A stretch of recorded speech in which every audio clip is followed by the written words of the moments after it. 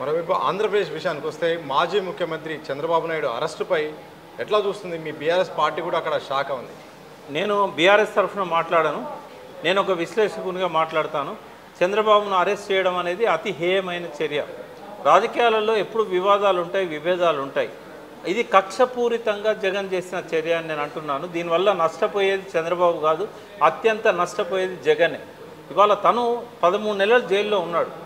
జైల్లో ఉండడం వల్ల ఆయన వ్యక్తిగతంగా తన గురించి తను సమీక్షించుకోవడానికి తన భవిష్యత్తు విధానాలను రూపొందించుకోవడానికి ఒక రోడ్ మ్యాప్ కోసము ఆయన ఒక పథకాన్ని రూపొందించుకున్నాడు. ఆ తర్వాత దాన్ని విజయవంతంగా అమలు చేసి ముఖ్యమంత్రి కాగలిగాడు. ఇవాళ అటువంటి అవకాశాన్ని ఆయన చంద్రబాబుకి ఇచ్చాడు.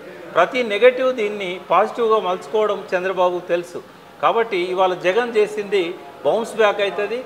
ఒక మంచి రోడ్ మ్యాప్ చంద్రబాబు వేసుకొని మళ్ళీ అధికారంలోకి రావడానికి ఆయనకు ఒక పూల బాట కోసం రెడ్ కార్పెట్ భరిస్తుండే జగన్. ఎంత తొందరగా చంద్రబాబును విముక్తి చేస్తే జగన్కి అంత మంచిది? రాజకీయంగా ఇది విశ్లేషకులు కానీ పరిశీలకులు కానీ ఇతర పార్టీల రాజకీయ నాయకులు కానీ తమ పార్టీలో ఉన్న కొన్ని వర్గాలు కానీ ఇది ఖండిస్తున్న చర్య.